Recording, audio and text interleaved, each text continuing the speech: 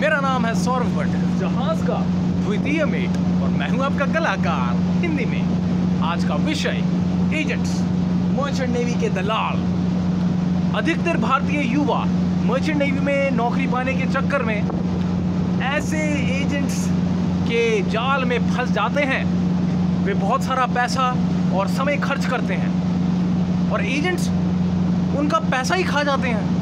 कहते हैं, भेजेंगे, जहाज़ पे भेजेंगे भेजेंगे। लटका के रखते हैं, और वो दिन कभी आता ही नहीं। और और यदि किसी जहाज़ पे भेजते भी हैं तो ऐसा जहाज़, जो कभी भी डूब सकता है कभी कभी ऐसा हो जाता है कि जहाज़ महीनों महीनों एंकर पे ही खड़ा हुआ है। भोजन पानी समाप्त हो गया। पगार तो छोड़ो, भोजन पानी ही नहीं मिल रहा।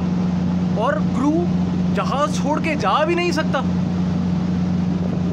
बहुत से किस्से ऐसे आते हैं कि बच्चा मर्चेंट नेवी में गया विदेश में किसी जहाज़ पे और अब पता चला वो उस देश के काल कोठरी में कैद है।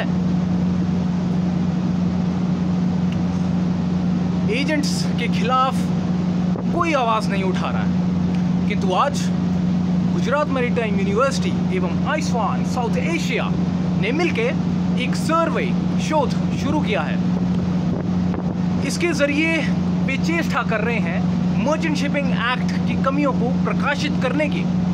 एवं स्टेक होल्डर्स को एवं लेजिस्लेशन को अमेंडमेंट्स का सुझाव देने की।